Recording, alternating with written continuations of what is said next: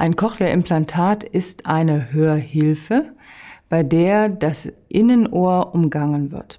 Cochlea kommt aus dem Lateinischen und bedeutet Schnecke. Damit verbinden wir Mediziner den Ausdruck ähm, für das Innenohr, dort wo das eigentliche Hören stattfindet. Und es gibt viele Erkrankungen, die im Laufe des Lebens oder aber während der Embryonalentwicklung dazu führen, dass diese Cochlea nicht funktionsfähig ist. Wenn man das dann festgestellt hat, kann man ein Implantat in die Cochlea einführen und bei einem Cochlea-Implantat werden die akustischen Reize in elektrische Reize umgewandelt, die dann direkt über das Implantat, das in der Hörschnecke liegt, auf den Hörnerven übertragen werden.